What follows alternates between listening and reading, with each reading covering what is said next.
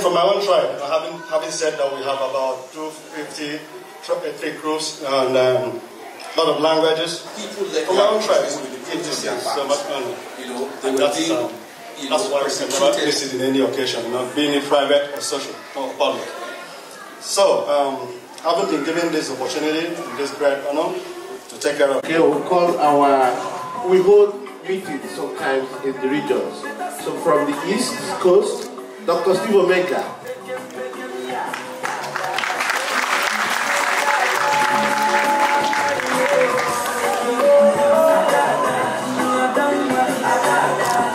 From the Northwest, uh, Dr. Wale.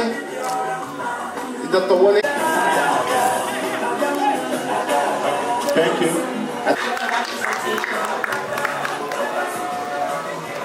I know it's lunchtime, and with all this beautiful and lovely smell coming from outside, our tummies are probably rumbling, and we can't wait to eat. In, in another few minutes, I'm sure we'll be doing that. Um, I'd like to call Mrs. Joyce Kittens for the the cake.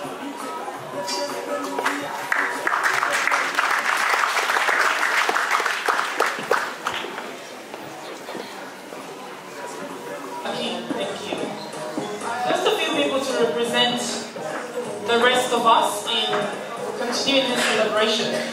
The cake is, um, the colors say it all.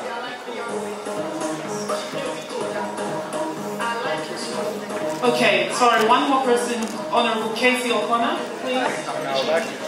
And our able president. Yes, that's right, thank you.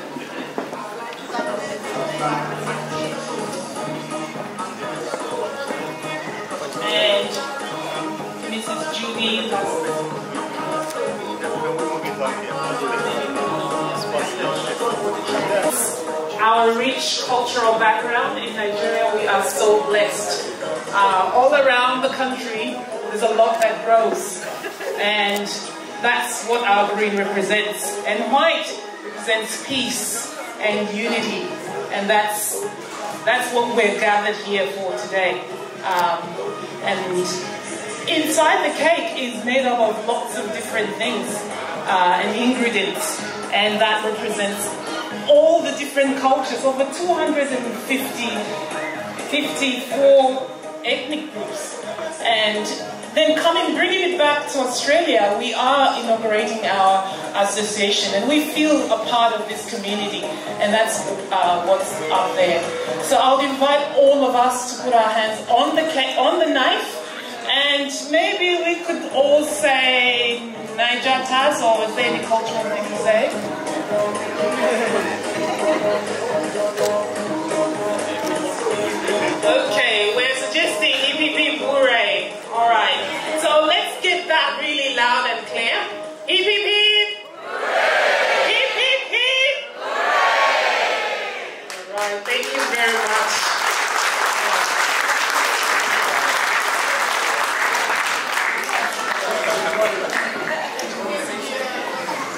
So thank you. Yeah, you can go back in. Thank you. I feel privileged for today. It's a dream come true. We are going to eat the cake. Thanks for making the cake. Thank you very much. Thank you. It's the time we've all been waiting for. It's full time